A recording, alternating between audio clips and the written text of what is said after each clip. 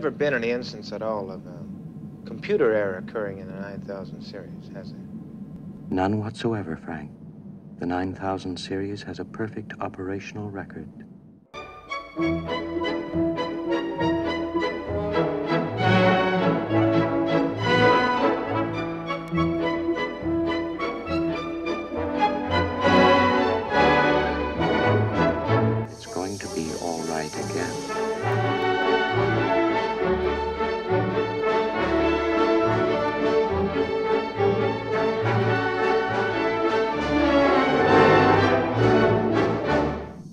I know I've never completely freed myself of the suspicion